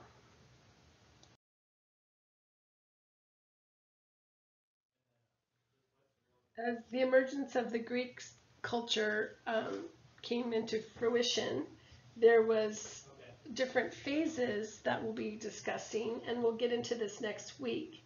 But you can see the different time periods and phases here. And uh, let's go through a few slides just to show you a preview for next class. And uh, like I said, we'll go into this in more detail then. We'll dive into the background and history of the Greek civilization more next class. but this is just giving you a preview of how the artwork's going to change over time. So during this late geometric period from about 900 BCE, uh, was a time when Greek was composed of mainly city-states um, or a polis. So instead of one unified country, of course, it was just several separate city-states. The Greek alphabet was starting to be uh, used. New trade routes were established. Uh, larger temples were being built to honor patron deities. There was a rise of state religion, and this was also the time of Homer, where he wrote the Iliad and the Odyssey. Um, so there's a lot of warrior iconic um, icons in the design. And you can see that in this geometric phase of the pottery. So notice it's just done with these very um, crisp bands of register or pattern going horizontal bands going across and these kind of male figures on the pot. And uh, let's take a look at the next one. Greek pottery starts to gain complexity in both form and meaning the different types of shapes the pots took on and in decorative uh, application as well. So one of the key motifs that we see, you can notice the labrys shapes, that double-headed axe shape that we saw in the Minoan culture, but notice that fret pattern, kind of like a labyrinth along the top. And this is the Greek key or fret, which we're going to be seeing quite a bit of throughout the class. It's inspired by the river Meander, which is actually a river that twists and turns quite a bit, um, and it's in around Turkey. Um, and it's mentioned in Homer's Iliad, um, and it symbols eternal flow of life and infinity. So um, this is the, the, one of the icons of Greek design is that Greek key or fret that you see at the top here. In the Orientalizing period from about 700 to 600 BCE, there was more trade going on with Asia Minor and Middle East and Egypt and the ancient Near East, which allowed for these new artistic influences. So you start to see uh, more use of composite mythological looking creatures like griffins, like these kind of mythical animals, and this idea of um, these stiff figures like we saw in Egyptian art uh, shown in profile but um, they're also developing the black figureware type of pottery, which we'll see coming up next week.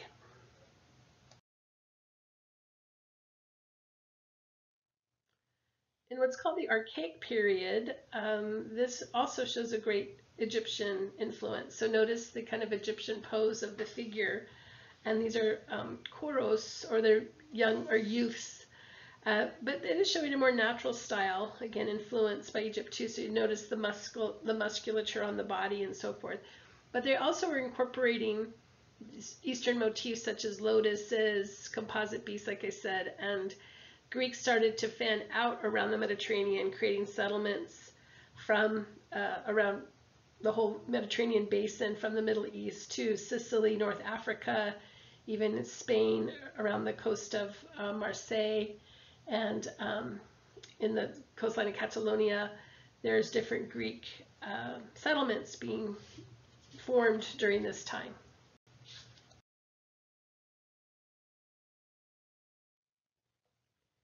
One of the interesting pieces of art from the late Archaic period is the Naxian Sphinx from Delphi, which is just north of Athens. Um, this was discovered in 1861 in three pieces, but there was a large earthquake in 1870, so it was hidden again. And then it was unearthed once more in 1893. So this is carved from marble, and it's resting on what's called an ionic column. We'll talk about that more next class. But this was a tribute to the Oracle of Delphi. And the Oracle was a goddess of Apollo who sat in this temple, and people would go and ask her for prophecy. And in repayment or as a uh, thank you to the Oracle for them getting their, their prophecy, they would build her either a temple or a monument like this one. So we'll talk about that more next class too.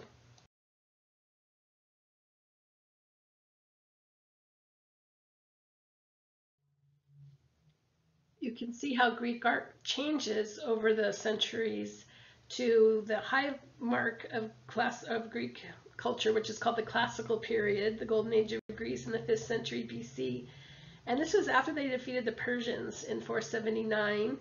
Um, they started to really um, flourish politically and artistically and culturally. So this is an incredible bronze sculpture um, that's now found in the Museum of Antiquities in Athens. But it's about nine feet tall, and this sculpture was actually found underwater. So originally it, they thought it was the god Poseidon um, because they because he was found underwater. And he, if he would have been holding a trident, that would have been Poseidon. But because of the shape of the beard, most people think it's Zeus. So he should have been holding a lightning bolt. so, but notice just the naturalism of the body, the mastery of bronze, which is a very hard um, material to to sculpt in this large, or to cast in this large size of bronze. If the if the mixture doesn't stay molten it does a thing called caking, where it can make the figure break up or have pits or holes in it. And so just you can see the mastery of both technology and um, you know more perception in three-dimensional effects and art uh, during this classical period. Again, we'll talk about all this more next class, so stay tuned.